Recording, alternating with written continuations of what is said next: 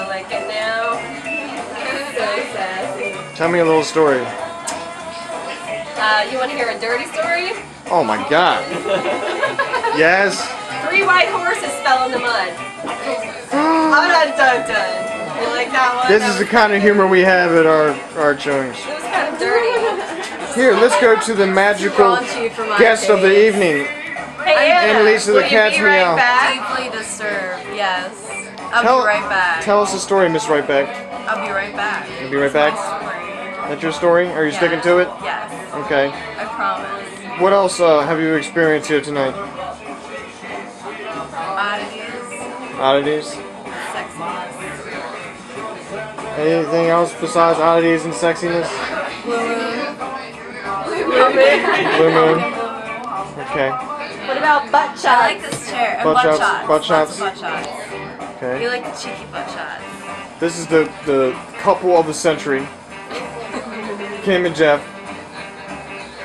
Tell us about your experience of traveling to Pittsburgh in the hearse. Well, we almost got fucking lost. Fucking Okay. detours because Pittsburgh sucks. Let's tell them all in the other room. we love this place. Right. Which Not the detours. we have art everywhere, like this right here. That's a vagina. That's a that's a vagina. And we got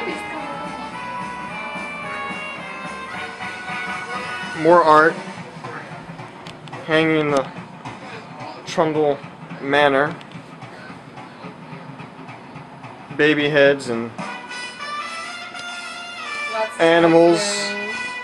And organs and baby heads and people and in the Trundle Manor they actually hang their art from the ceiling because their walls are covered with massive amounts of oddities such as these things. I know.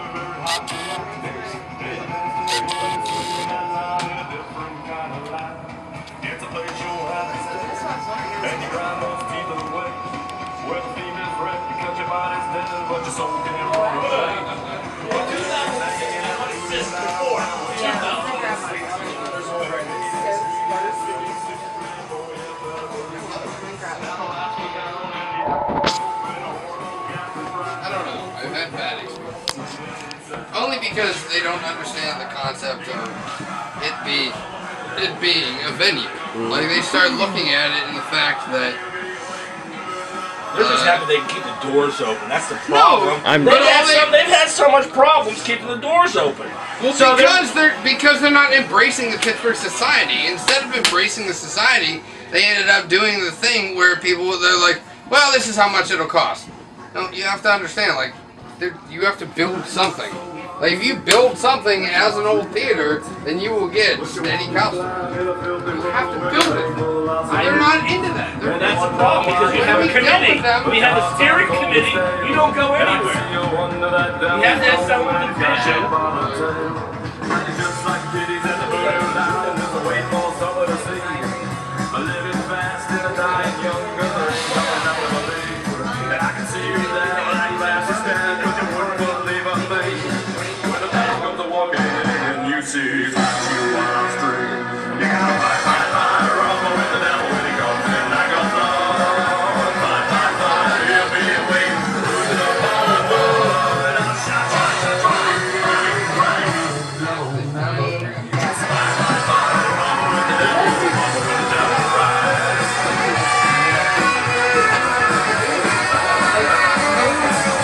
Fight,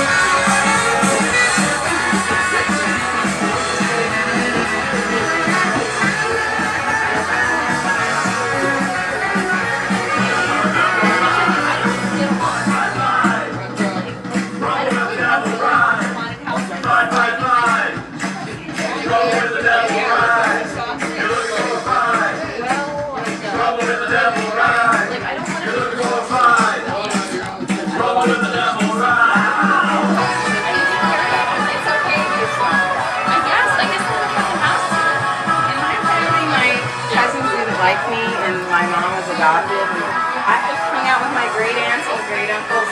Yeah. Who were in there, you know, all my life.